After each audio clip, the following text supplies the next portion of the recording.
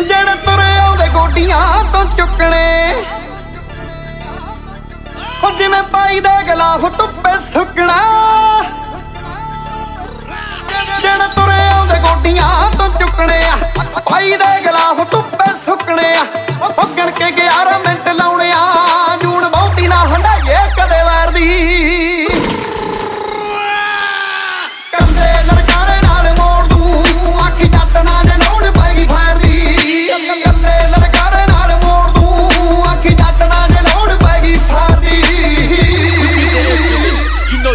us